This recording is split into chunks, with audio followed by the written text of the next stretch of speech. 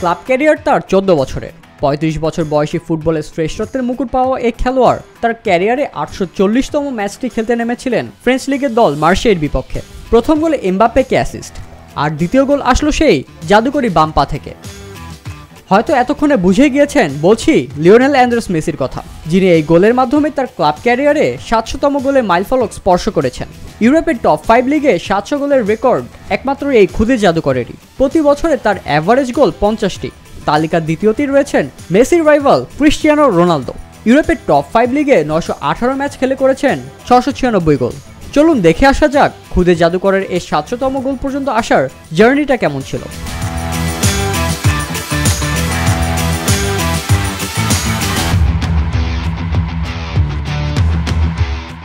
দু হাজার পাঁচ সালে স্প্যানিশ লালিগায় পেশাদার ক্যারিয়ার শুরু তার। বার্সেলোনার হয়ে ক্যারিয়ারের প্রথম গোলটি পান আলবাসিতের বিপক্ষে।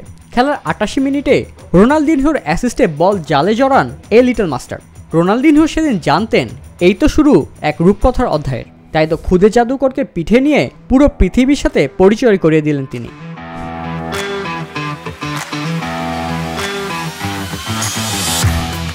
বয়স তখন তার মাত্র বাইশ। দুই হাজার দশ সালে স্প্যানিশ লিগে সেভিয়ার বিপক্ষে এক কীর্তি করেন তিনি।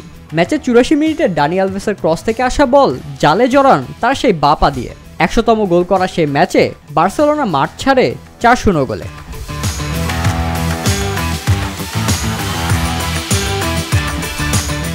একশো গোলের পর দুশোতম গোল করতে মেসি সময় নেন মাত্র এক বছর। দু সালে ইউএফআ চ্যাম্পিয়ন্স লিগের গ্রুপ স্টেজের ম্যাচে পেনাল্টি থেকে পাওয়া গোলে দুশোতম ক্লাব গোলের মালিক হন তিনি। সে ম্যাচে মেসির হ্যাট্রিকে চার শূন্য গোলে জয় পায় বার্সেলোনা।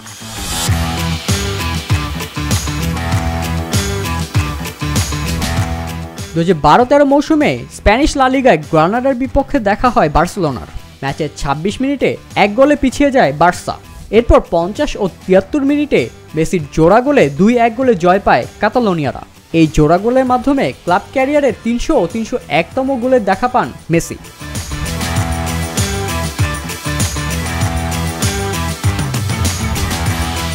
লালিগা দু হাজার সালে ভ্যালেন্সির বিপক্ষে ম্যাচে খেলার ইঞ্জুরি টাইমে ক্লাব ক্যারিয়ারের চারশোতম গোল করেন মেসি। সেই ম্যাচে দুই শূন্য গোলে জয় পায় বার্সেলোনা।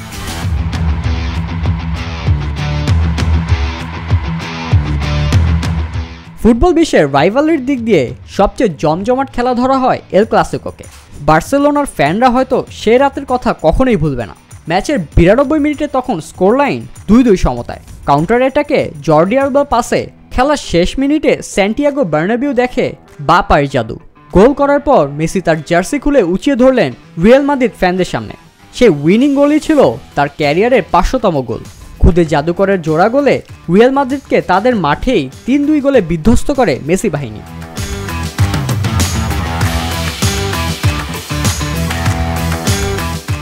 মেসির ছশোতম গোল আসে চ্যাম্পিয়ন্স লিগে লিভারপুলের বিপক্ষে ফ্রিকিকে এই গোলকে বলা হয়ে থাকে তার ক্যারিয়ারের সেরা ফ্রিকিক সে ম্যাচে মেসির পঁচাত্তর ও বিরাশি মিনিটের গোলে তিন শূন্য গোলে প্রথম লেগ জয় পায় বার্সেলোনা।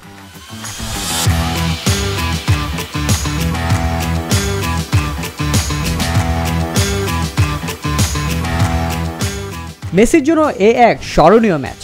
স্মরণীয় রাত এমবাপ্পের পাস থেকে ম্যাচের উনত্রিশ মিনিটে গোলটা করেই তিনি ছুঁয়েছেন দারুণ এক মাইল ফলক ক্লাব ক্যারিয়ারে এটি তার সাতশোতম গোল, যেখানে বার্সেলোনার হয়েই করেছেন ছশো বাহাত্তরটি ও পিএসজির হয়ে আটাশটি।